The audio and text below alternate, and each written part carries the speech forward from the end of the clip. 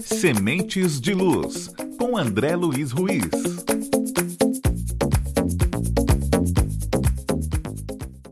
Muitas pessoas passam pela vida preocupadas em superar determinadas dificuldades materiais, encontrar afeto e, para isso, procuram fazer promessas, procuram por igrejas que lhes deem a expectativa de receber, fazem da sua vida um martirológio, queixando-se do que está faltando.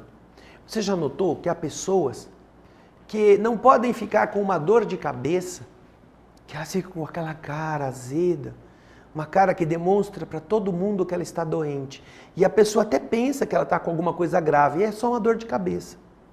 Existem pessoas que, porque tem um pequeno problema, transformam esse problema num caos e ninguém consegue ser feliz à sua volta, porque elas não acham que as pessoas podem ser felizes enquanto ela está em uma situação não muito feliz.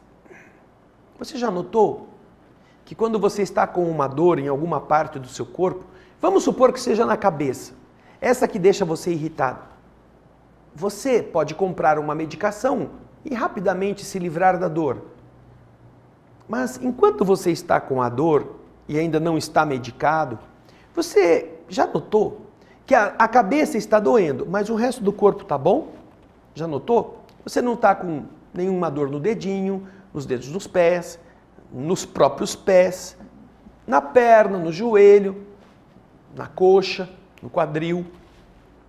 A barriga está funcionando, você urina, você vai ao banheiro para as necessidades fisiológicas normais, você tem a respiração plena, você está com a circulação em dia, você consegue falar, consegue enxergar, consegue escutar.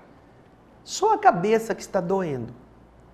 Então, se de todo o seu corpo você tem, vamos colocar aí, se, sem muito exagero, 2% que não está bom, 2%, que é a dor da cabeça. Porque o resto da cabeça, apesar da dor, está funcionando. Você escuta, você pensa, você raciocina, você faz as coisas.